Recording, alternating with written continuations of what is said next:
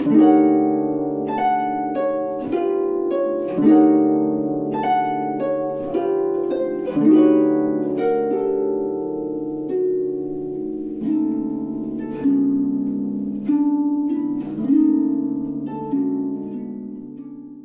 wrist to me is extremely important.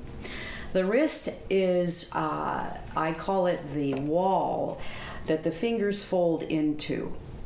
And very important that the wrist does not move along as the fingers move. Only the fingers move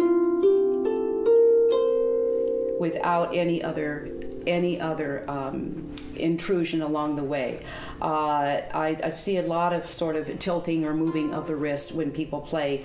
Um, and again, this is for alignment, this is for speed, all utilitarian.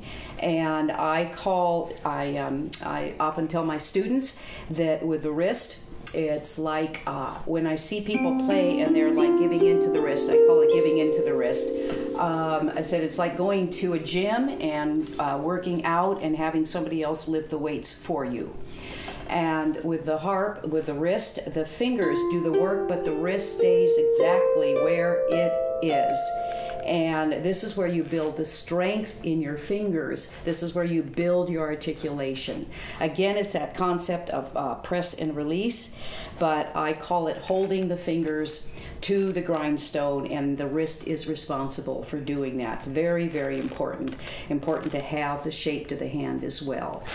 And I would also like to mention, since we are on the subject of, of the fingers, uh, the idea of the articulation of folding every finger flat back and into the hand, but I will talk about that in another segment.